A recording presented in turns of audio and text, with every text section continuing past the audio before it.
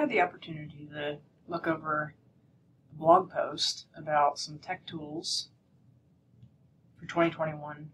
And although 2021 is almost over, I thought it would be a good idea to kind of do a review and see what might be beneficial.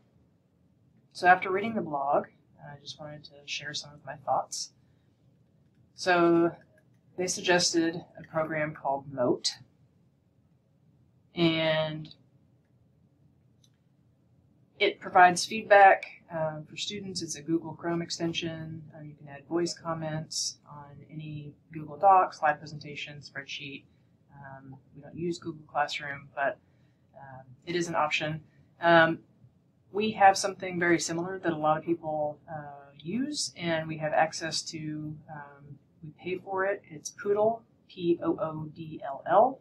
it integrates with Moodle. It has a lot of flexibility. we have documentation on the Moodle knowledge base. So that is an alternative.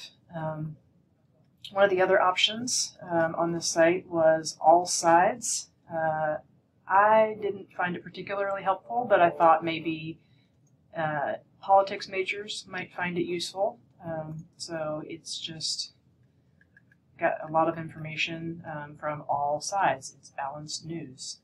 Um, other people might find it beneficial as well. Um, the next one was Google Lens, um, which I think is fascinating. Um, Google Lens can you point your smart, smartphone uh, camera at any object and um, it can give you information about it. Now, with the new iPhone, uh, you can use the camera feature and it will do that for most objects automatically. Um, this is kind of cool. Uh, I think it's a really great tool that you can use in your in your classes, um, especially um, if you're getting out and doing anything out in the world, um, community-based learning, just getting out in the world, looking up plants, animals, buildings, historical markers, anything like that, um, and just incorporating some of that augmented reality. And next thing was Bulb. Um, I didn't get to explore this too much, but this is essentially um, a digital portfolio. Um, they do have an option, a paid version, that can integrate with a learning management system.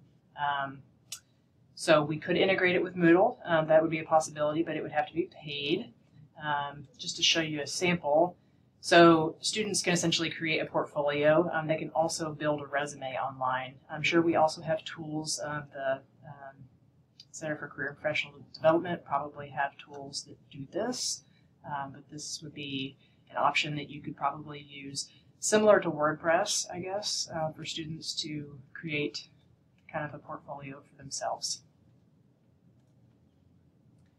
Um, and then the last tool, or well, second to last tool, um, Embrace Race. Um, I thought this was a really great site. Um, it just seemed really geared more toward younger children, um, but I just wanted to show a little bit just because it has some really great topics, um, and I think it'd be worth looking at whether you have small children at home or you find use for yourself in your classes.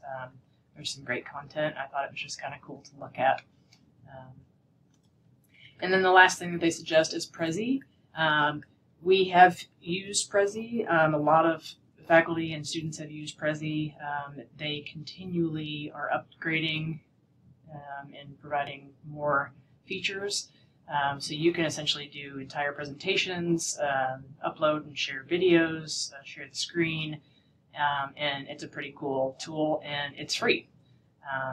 so if you have any questions about any of these things, um, you're welcome to reach out to me. Um, but I think it's important to remember that um, I know faculty are overwhelmed with all the tools and the options that are out there, and students get just as overwhelmed. Um, so sometimes more is not better, um, but finding the right tool for the job, um, and we are happy to help you with that.